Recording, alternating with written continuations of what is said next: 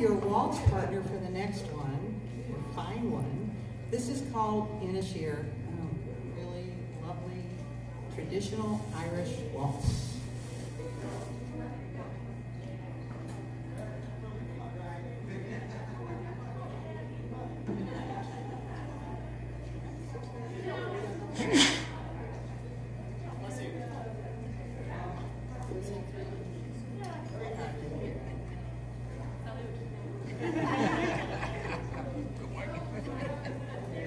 Is it?